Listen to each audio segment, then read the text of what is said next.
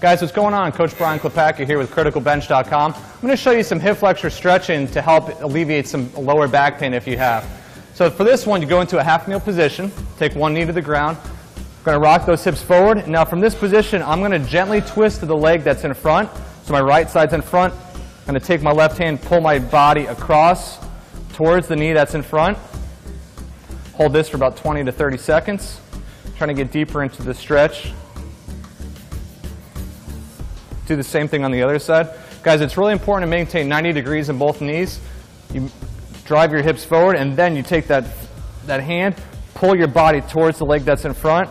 You're going to feel a lot of tension being released on that lower back.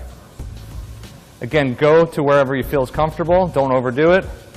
Do this a couple times each side if you really want to open up that back. Guys, we made something special for you. It's right here. Check it out. It's a free Olympic lifting report. Look at it, and you're definitely going to learn something. Thanks, guys, for checking us out.